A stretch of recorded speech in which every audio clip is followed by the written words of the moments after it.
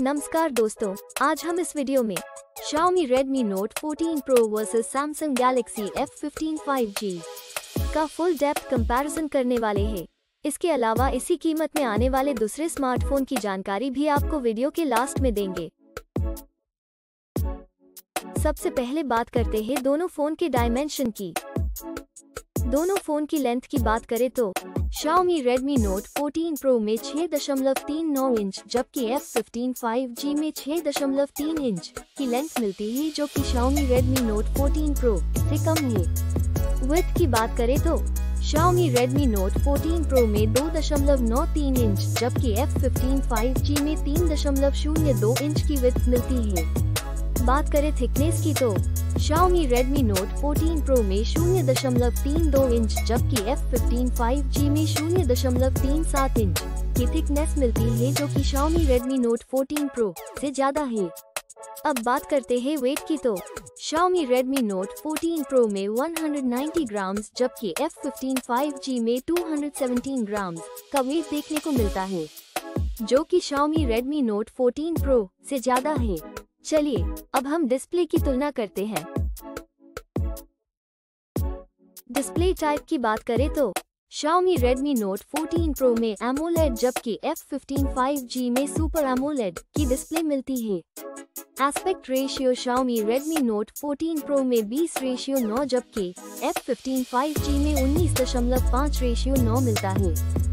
Display size की बात करें तो Xiaomi Redmi Note 14 Pro में 6.67 इंचेस जबकि F15 5G में 6.5 इंचेस मिलती है। Display resolution Xiaomi Redmi Note 14 Pro में 1220x 2712px FHD और F15 5G में 1080x 2340px FHD मिलता है।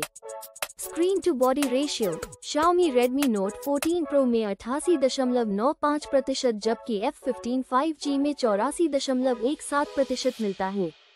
बात करें PPI डेंसिटी की तो। Xiaomi Redmi Note 14 Pro में 446 पिक्सल प्रति इंच, जबकि F15 5G में तीन सौ छियानवे पिक्सल प्रति इंच मिलती है।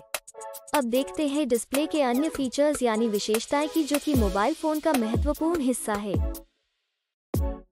अब बात करते हैं सबके पसंदीदा फीचर्स कैमरा की।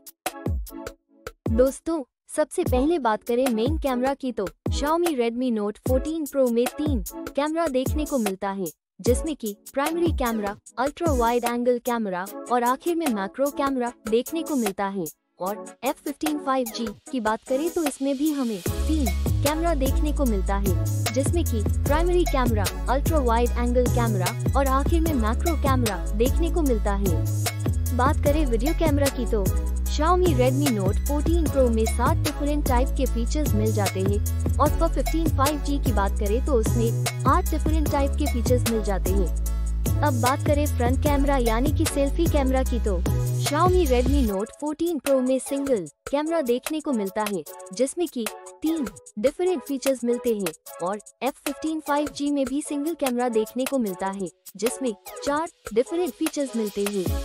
आइए अब बात करते हैं हार्डवेयर के बारे में जिसमें हम CPU, GPU और रैम की जानकारी देखेंगे।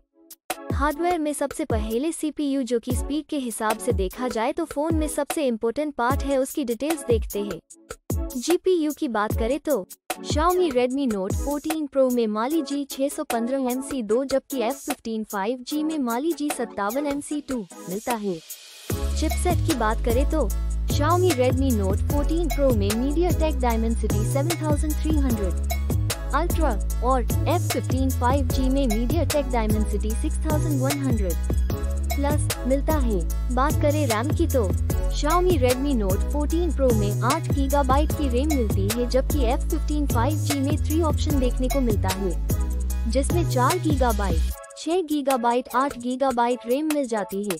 बात करें इंटरनल मेमोरी जिसको हम स्टोरेज भी कहते हैं, वो दोनों फ़ोन में सेम ही। 128 गीगाबाइट स्टोरेज मिलती है। एक्सपैंडेबल मेमोरी की बात करें तो Xiaomi Redmi Note 14 Pro में नहीं है, जबकि F15 5G में अप टू 1 टेराबाइट है।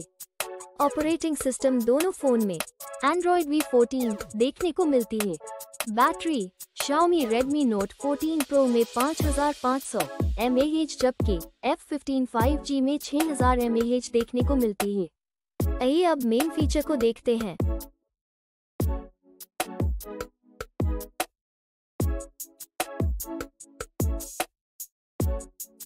कलर्स की बात करें तो Xiaomi Redmi Note 14 Pro में चार कलर्स जबकि F15 5G में तीन कलर्स ऑप्शन मिलते हैं।